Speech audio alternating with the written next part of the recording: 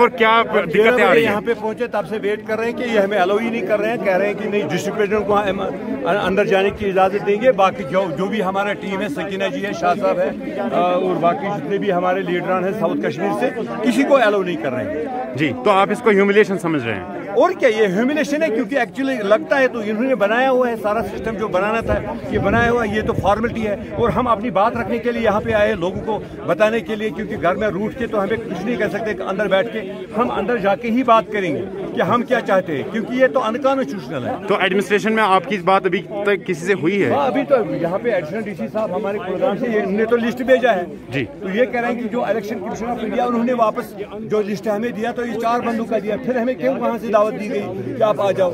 हम कोई श्रीनगर से आया, कोई शुपेन से आया।